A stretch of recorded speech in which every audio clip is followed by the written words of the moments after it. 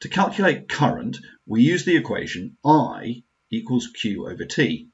This says the current flowing past a point is equal to the amount of charge flowing past that point divided by the time it took to flow. In this circuit, 6 coulombs of charge flow through the bulb in 30 seconds. So what's the current flowing through the bulb? First of all, let's note down the important information from the question and connect it to the symbols we use for charge and time. So Q is 6 coulombs and T equals 30 seconds. We write down our equation for current, I equals Q over T, and then substitute in the numbers.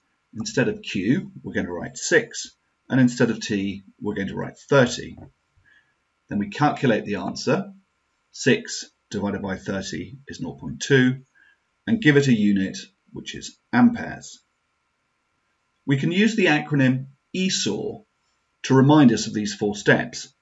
Equation, substitution, answer, unit.